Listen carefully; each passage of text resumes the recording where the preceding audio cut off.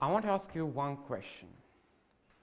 Do you like it when someone say lie to you? Put up your hands if you appreciate when someone lied to you. Great. when I was studying uh, in seventh grade, one of his topic was finding the square roots from rational numbers. And our school books say that it's impossible to do with negative one.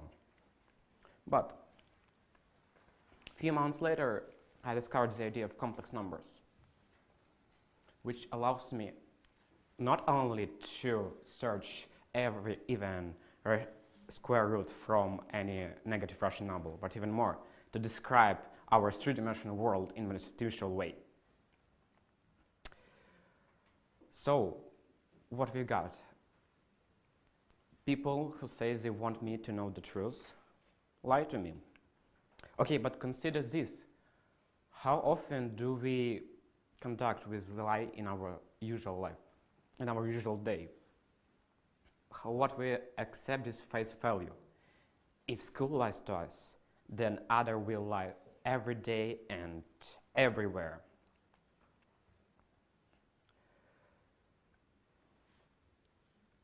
But can we accept that and can we do something with that? Because, you know, every falsehood has its price. For one time, it can cost you an argument with your friend or wasted money.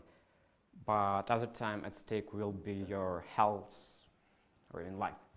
Let's come back to the school, the example I started with. Thus, I, I asked myself, does, uh, would my life really change if I don't know about uh, complex numbers? I don't think so. However, now I need them for some calculations. I would get it because I need it. Uh, what I'm trying to say, school giving us the ground that is aimed at serving us in the future, like a basic setting again to start developing. We get it to developing in the future. So school don't lie to us, vice versa. It makes some information easier, makes some simplification, so we get the information. Otherwise, we just don't get it. Um, I'm a participant of chemistry Olympiads for four years straight, and I love this beautiful science thanks to people who is teaching me. And I love it because I see much more than the school actually can show. And uh, I really aware that you need to study it, you need it in the future, because especially, especially if you don't want to live in a lie.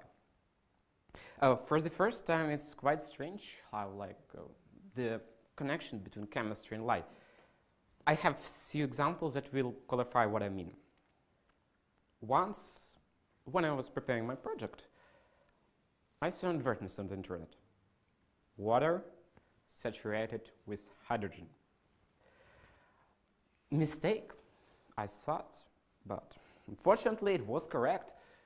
Some smart phrases about health benefits and why you should buy it.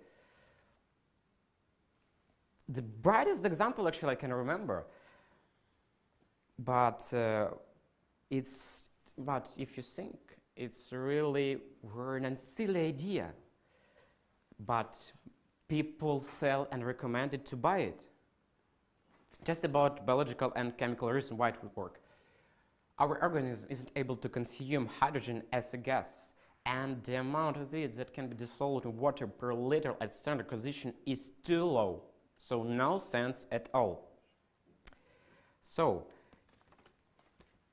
a little bit of rational thinking and using some boxes where your brain collects uh, chemistry lesson about polar and non-polar molecules will prevent you from such mistakes. No wasted money, no challenges, no problems. You just need to think. Remember that. Uh, let's move on. Uh, I've got one more interesting example that will clarify what I mean.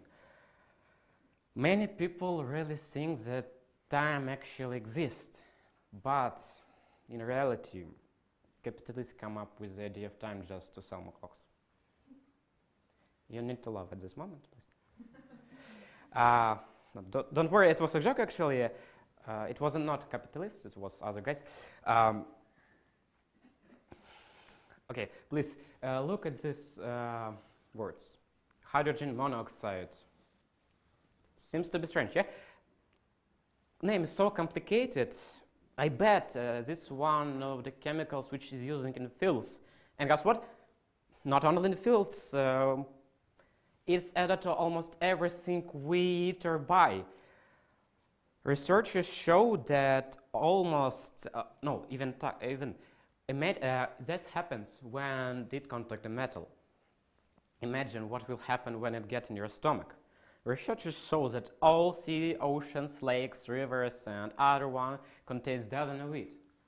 So, while we are sitting, we need to do something with it right now. We need to rush and do something. Like we don't know what will happen with our effect and how it affects our organism. But before you are rushing to tweet this, uh, please look at this picture.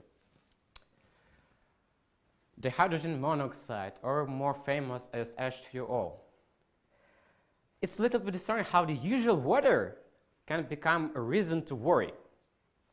What I'm trying to say is that the world around us is so difficult, so complicated, and the idea I truly believe in that chemistry, no, actually science in general, can help us when you're trying to think critically and analyze information. I just want people not to live in a lie. I've got uh, some experience and due to it I want to give you some useful tips how to teach and learning. Like the last one I want to show you before the organizers will take me out of this scene using a long umbrella is about learning and teaching. Uh, my tips are concentrated on the experience I've got from my Olympiads. So the first one is for teachers. First of all, uh, the task of every teacher is to understand that not everyone wants to become a chemist and actually not everyone needs to, to minerals for me. Um, to get into their minds, you need to focus on some practical or emotional moments. Try to present every topic in use like in real life. I've got a really interesting example, like connect the NMR spectroscopy and the MRI. Like it's best way to how to explain how it's work. Many people are consider and worry about that. Topic about carboxylic derivatives and their acid, like perfect. Tell about aspirin.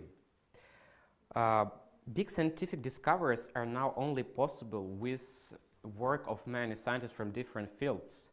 So collaborate with other subjects like biology and physics to show the relationship between them.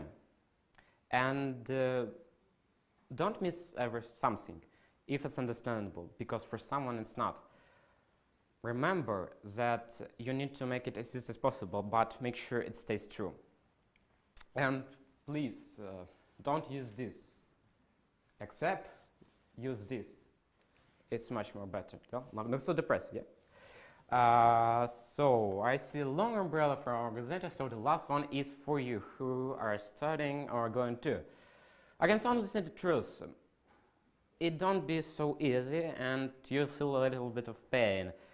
And uh, you won't get complex theorem from the first, second, even 10 times around. So all you need is to solve things and move on. One time the bulb into your light in your head will light up and you will understand something. But before you need to solve tasks, questions, problems, not only theorems actually, because chemistry, you need to know how to use chemistry. Our life is important and practical part, so you need to understand what you're doing. And uh, remember, never give up, even if it's Schrodinger equation. Um, not to forget, chemistry is a practical science and it would be great if work in a lab is possible, especially if it's get some practical tasks, because making even some primitive experiments is really important. But the problem is not all have access to reagent. Then remember that everything around us is chemistry. Uh, some usual things can become new if you show them the right angle.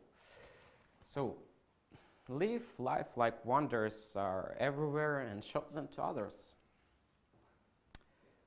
Think critically analyze information. Remember, people make mistakes, even famous and relatable ones.